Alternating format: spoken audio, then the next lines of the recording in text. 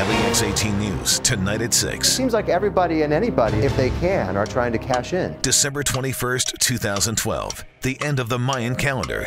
And for some believers, the end of the world. The Maya are perceived to be these advanced geniuses. Why does one day inspire so many doomsday scenarios? Barristan people are taking this extremely seriously.